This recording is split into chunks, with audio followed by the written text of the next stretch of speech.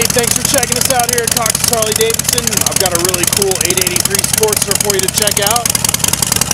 Check this thing out, all blacked out. Got the K&N breather, straight pipes. Got the mid-mounted controls, the gators and the blacked out forks, cast aluminum mags.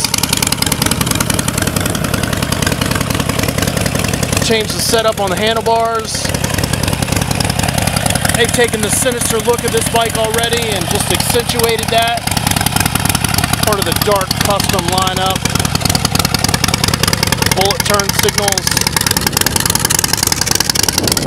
Bike's low miles with only 4,641 miles on it.